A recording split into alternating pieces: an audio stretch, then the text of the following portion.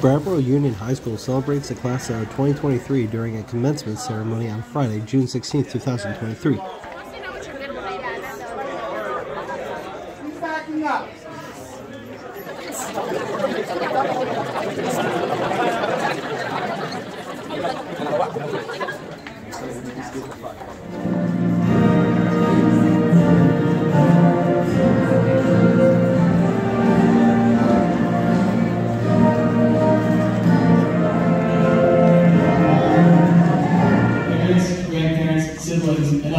That have been there for us through everything the high school has thrown our way.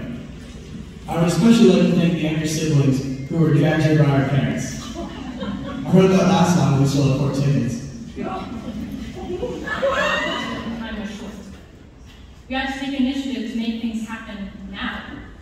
We had to become completely involved in our school and our community, both in our academic and our extracurricular activities. We came back and we came back hard, with a new appreciation for everything.